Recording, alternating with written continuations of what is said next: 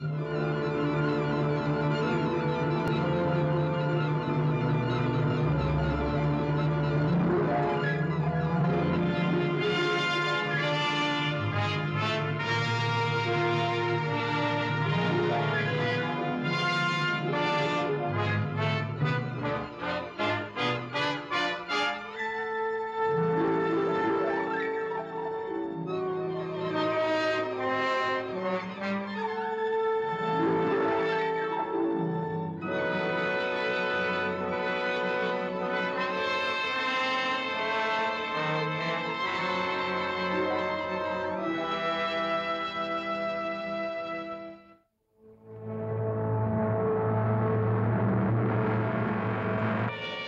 Daka has forced Colton to lead his men to the radium mine.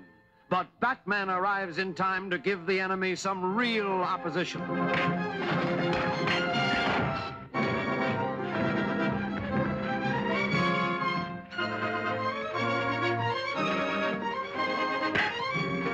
Hey, Batman. Over here.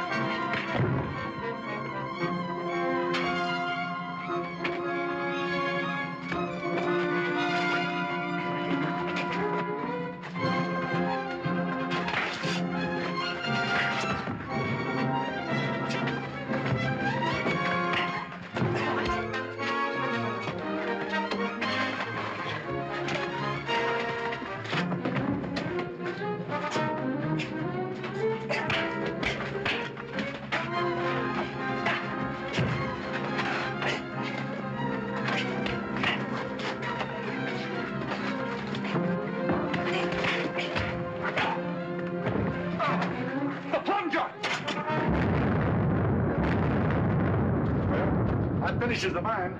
Finishes the Batman, too. Come on, let's get out of here.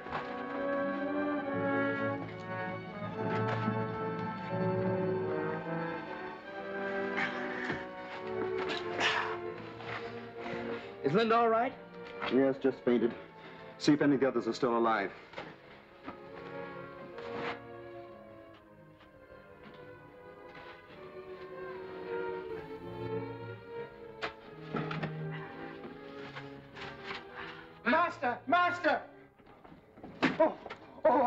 I, I am so happy to find you're still alive, sir. Never mind that. See if you can find Colton. Yes, sir.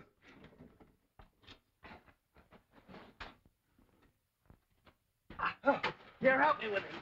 Ah. Why, he's one of those crooks. Just the same, we can't leave him here to die. Oh, what, what about the others? Under that, not a chance. What are you going to do with me? You'll find out soon enough.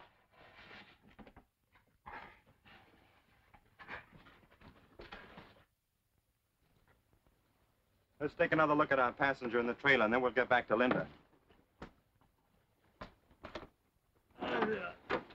Looks like he's in for an uncomfortable ride, but it serves him right. Mr. Bruce, this. Bruce! I thought you were caught in the explosion. Explosion? What explosion? Well, the explosion at the cave. Well, that explains it. Well, we never got to the cave. It was so hot out, we laid down by the roadside and took a nap. Asleep. Just when I needed you both so much. Hadn't it been for the Batman, I'd be dead in the cave. Just like poor Ken. Ken dead? What happened? Oh, I don't want to even talk about it. Let's get out of this horrible place.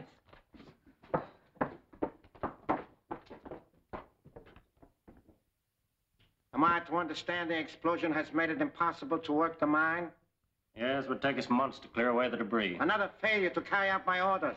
I must warn you that I shall be compelled to use very drastic measures Unless you But we accomplished one thing. We eliminated the Batman once and for all. Are you positive of that? Sure, he was buried in the cave along with Colton and the rest of them. How many of our men were lost? Just two, Marshall and Raines. Well, not so bad. A small price for his destruction. Now we will have to find new men to take the place of our late lamented members. Wallace, attend to that right away. I'll do my best. You better stay undercover for the present. The police have a warrant out for your arrest. That's no surprise to me. I'll hide out at Bernie's place for a while. But be sure you are not followed.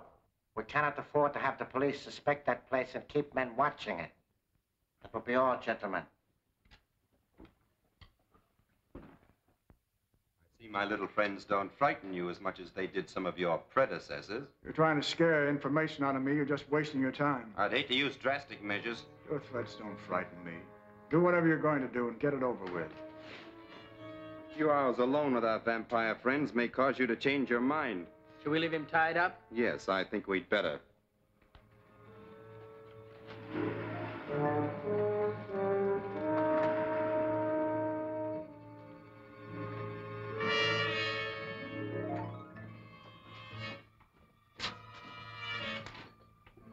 Isn't tied very well, so it won't take him long to get loose. Then we'll get some information.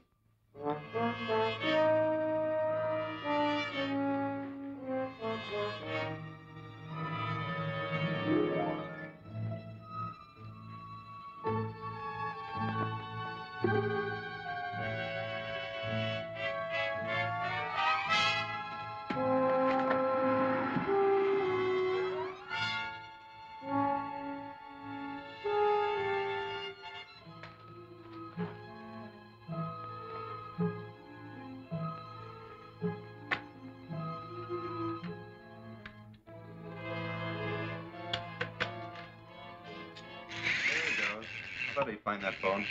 Nine, seven, three, five. Hello? Hello, Bernie. This is Marshall. I'm at the Batman's place, but I can't get out. I'll leave the phone off the hook, have the call traced, then contact the boys and tell them to get over here as fast as possible. Okay, Marshall.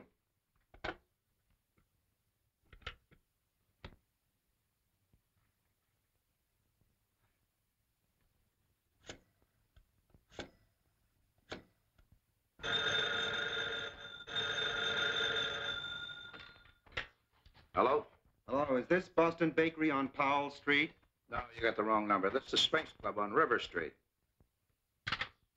Worked like a charm. It's the number of the Sphinx Club on River Street. Sphinx Club. Yes, I only hope it's the headquarters of that gang we're after. Are we going down there and try and find out? Most assuredly.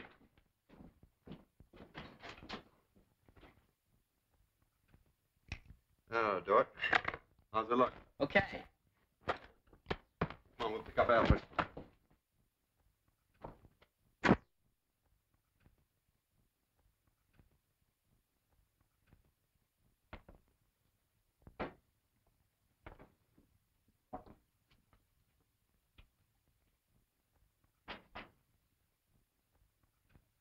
Hello? Oh! Oh, oh, you're quite shocking, sir.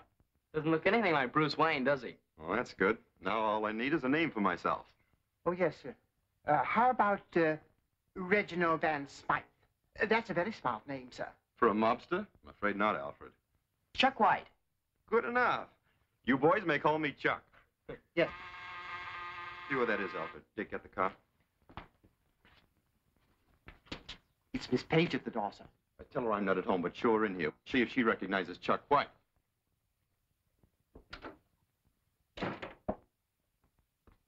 Oh, uh, Miss Page, uh, this is a Mr. Uh, White. He's also waiting for Mr. Bruce. How do you do? Hello? You a friend of Bruce? Well, yes. But if you're going to wait for him, why don't you sit down? I'll keep you company. I'll tell you about some of my fights. Oh, well, thank you very much, but I'm afraid I can't wait. Alfred, would you tell Mr. Wayne that I dropped by, but I'll call him in the morning? Very good, miss. Goodbye. Goodbye. My word, she seemed a bit miffed, sir. She doesn't like some of my friends. you certainly fooled us, sir. Well, if she didn't recognize me, I'm sure none of the boys down at the Sphinx Club will. Let's go.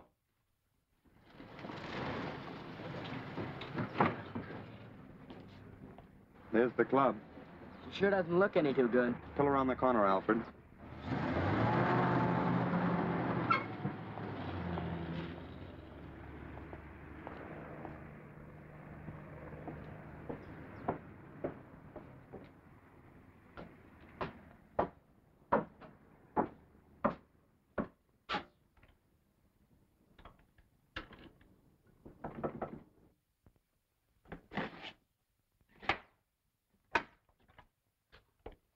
You remember here, Bud? No, I'm from out of town. A guy named Marshall told me to get in touch with him here. I'll see if he's in. Wait here a minute.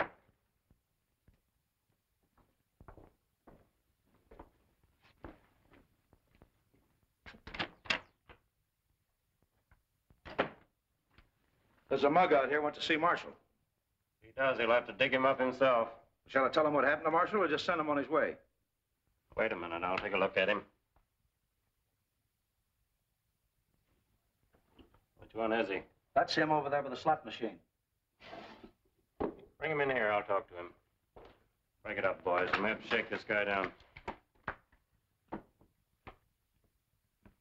Hey, you. Come here a minute.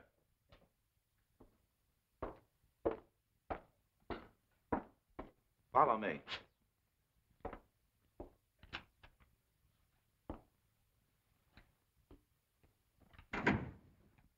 I'm looking for Marshall. You a friend of his? Yeah. I'm Chuck White. He told me to contact him He Said he could line me up for something big. Well, sit down, Chuck. Marshall's gone to a place where he can't identify anyone. He's dead. Well, that's too bad. How'd he get it? He was killed in a mine explosion. Have you any identification or proof that you were his pal? Look, I just come here to meet Marshall. I didn't expect no third degree. Skip the whole thing. No, wait a minute, Chuck. All I want's a little proof that you're a right guy. So if you're not a detective or a stool pigeon, you won't mind if we search you just to satisfy our curiosity. Look, you mugs. Nobody's searching me till I find out what this is all about. I have never a little dough on me, and I ain't taking no chances. So any you guys get any ideas, he's gonna frisk me. He better change his mind. Now, if you boys want to take me as I am, all right. If not, you better get away from there, mister, because I'm gone. All right, boys. Search him.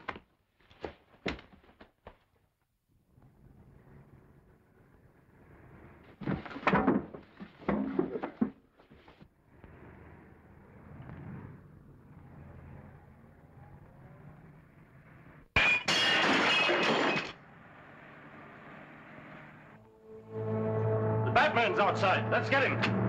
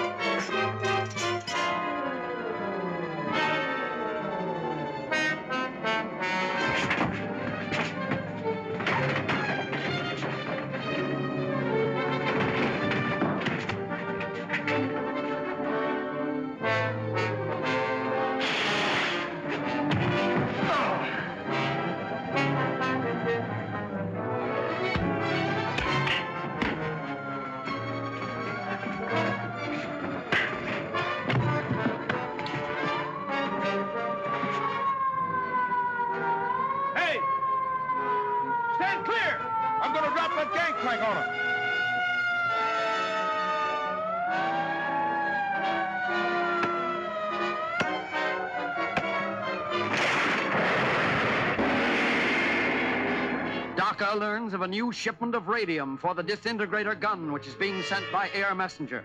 And there's Preston lighting the flare, signaling the messenger to drop the precious radium. Will Robin be able to thwart the plans of the Jap spies? Don't fail to see Flying Spies, Chapter 10 of Batman at this theater next week.